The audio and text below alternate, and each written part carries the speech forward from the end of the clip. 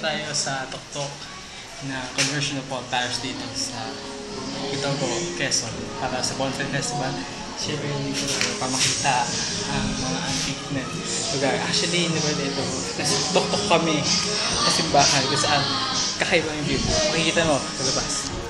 Wow!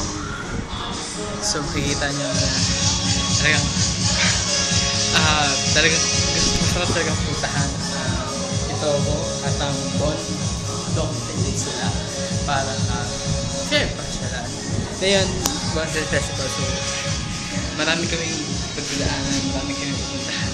Today and ngayon namimesmerize ko na ako sa lakas. Ganda ng view nakikita ko sa labas. Yan nakikita niyo po. So uh, hopefully magustuhan nyo and stay tuned for more videos